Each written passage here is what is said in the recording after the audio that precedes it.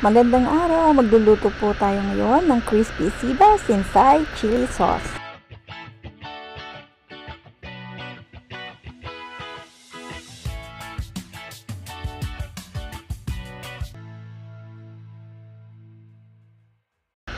Ihanda na po natin ang mga sangkap. Kailangan po natin ng luya, bawang, silim, labuyo, turmeric powder, asuk asukal ng niyog at asin, sibuyas na mura, tanglad, mantika, patis, kalamansi juice, gawgaw, paminta at syempre ang ating isda na sibas. Matapos linisin ay gilitan ang isda sa magkabilang bahagi.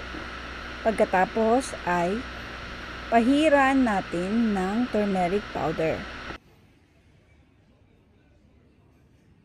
Kasunod nito ay pahiran naman natin ng paminta. Ito po ay white ground pepper ang ginamit ko dito. Pero maaari din po kayong gumamit ng black ground pepper. Susunod po ay pahiran natin ng kaunting asin. Ito na po ang magsisilbing marinate niya at coating niya. Pinakahuli po, ang ilalagay natin ay yung gawgaw or corn flour pwede rin po i-coat nyo pong mabuti, kailangan po huli ang corn flour. Balikta rin po sa kabilang bahagi, pagkatapos ulitin po natin ang ating ginawa, turmeric powder, paminta, asin, at ang pinakahuli po ay ang corn flour.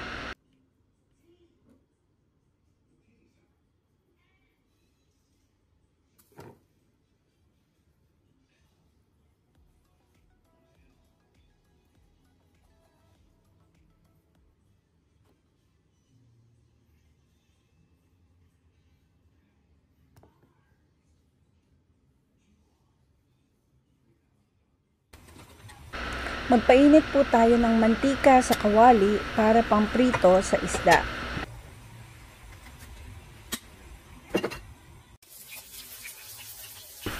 Iprito po ang isda ng pantay sa magkabilang bahagi hanggang sa ito ay maging malutong. Ngayon hiwain ng tanglad, yung dulong bahagi lamang po ang kailangan natin. Ang sibuyas na mura, hiwain pahaba ang luya, ang bawang at ang siling labuyo.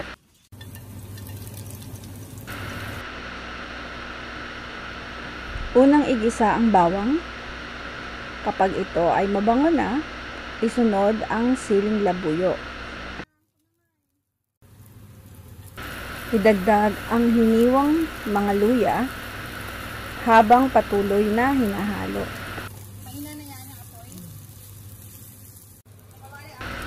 Kasunod nito, maaari nang ilagay ang ating tanglad at ang ating sibuyas na mura.